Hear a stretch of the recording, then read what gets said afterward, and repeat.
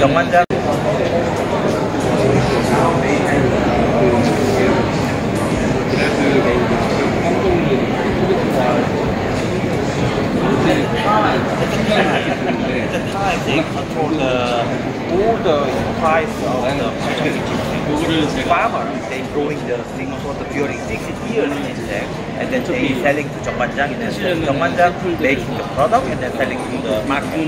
That is the our culture. The government or is under control, but uh, right now is the they is the they of the civil company, not a government.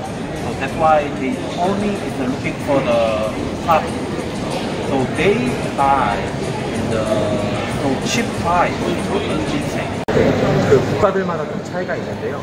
좀 GDP가 높은 싱가포르나 홍콩 그리고 뭐 대만이나 이런 태국 같은 국가들은 이제 저희가 좀 단가가 있는 이제 프리미엄 제품들만 주로 취급을 하다 보니까 이제 이런 GDP가 높은 나라 제가 아까 말씀드렸던 국가들도 인기가 있는 편이고요.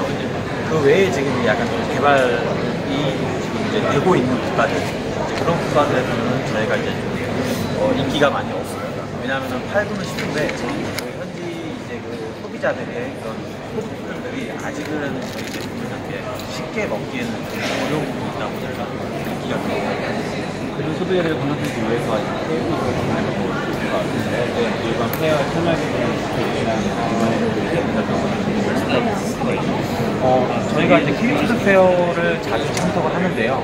이유는 이제 그 KT 동선 Do you have you ever had it? you ever 거예요. do you have any experience? 보니까 다이어 일단 저희 제품에 대해서 그냥 그냥 관심 있고 그런 바이어들만 있어요. 거래가 합니다.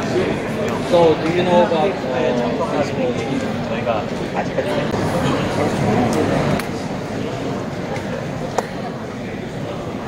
nice to talk to you again?